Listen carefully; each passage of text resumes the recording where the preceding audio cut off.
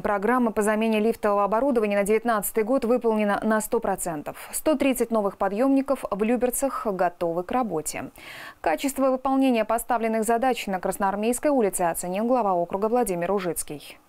Лифт постоянно ломался, так как у меня еще маленький ребенок, э, иногда даже приходилось с коляской подниматься. Один вот этот постоянно не работал, то работает, то не работает. Вот этот тоже периодически выходил из строя. Вот, теперь очень э, здорово, спасибо, что нам наконец-то это все сделали.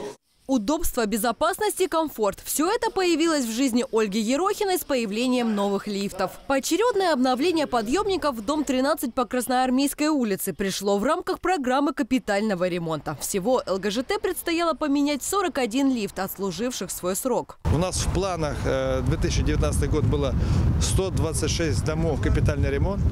Значит, мы э, планировали э, замену 130 лифтов. И мы говорили, что к концу февраля это все будет. И на самом деле это мы с этим справились. 130 лифтов э, сданы, запущены, работают. Я могу сказать, что есть дома, где был э, снос сроков там на неделе две-три. Это тоже было. Я приношу за это извинения.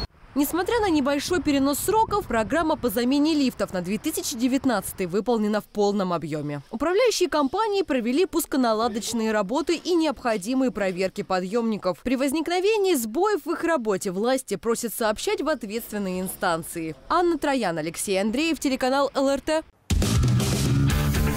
Привет, я Луиза, а вы смотрите телеканал ЛРТ. Подписывайтесь на наш канал на YouTube, ставьте лайки, и вы будете в курсе самых интересных событий.